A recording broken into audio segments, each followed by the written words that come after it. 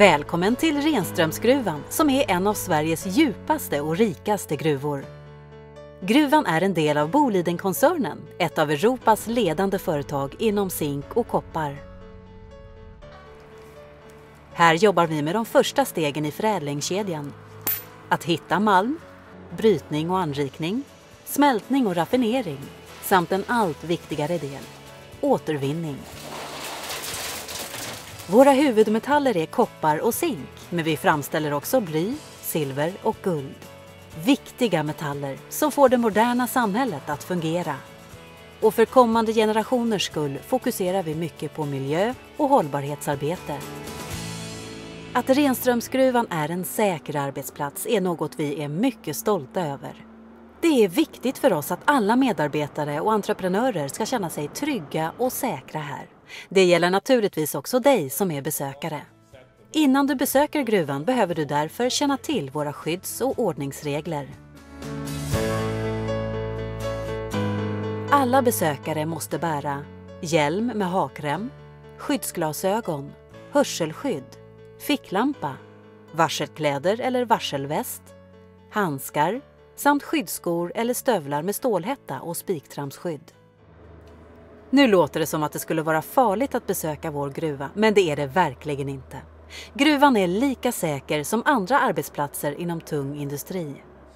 Berget är säkert och dessutom förstärkt. Många platser i gruvan har inte någon belysning och golv och bergväggar kan vara både våta och vassa. För att gruvans ledning ska ha full kontroll på vilka som befinner sig i gruvan måste alla först skrivas in, notera sina namn och tillhörighet på en tavla vid gruvhissen. Nu är det dags att åka ner, så då tar jag... Som besökare är det viktigt att du följer din guide och hans eller hennes anvisningar. Skulle någonting oförutsett hända är din guide specialutbildad och vet hur man ska hantera situationen.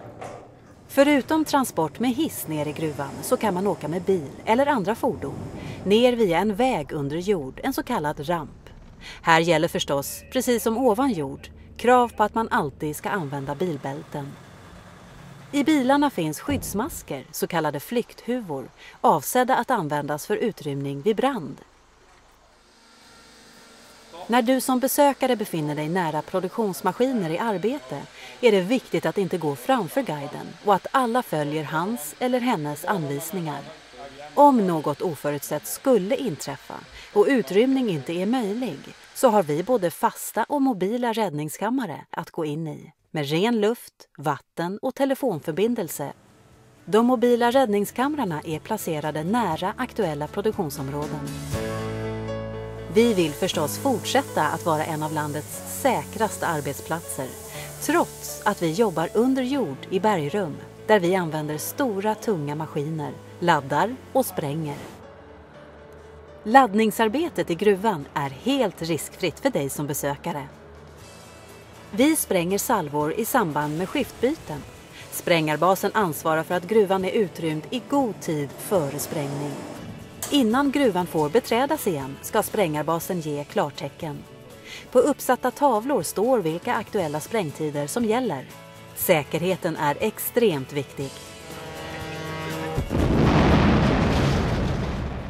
Okej, det fick bli startskottet för ditt besök.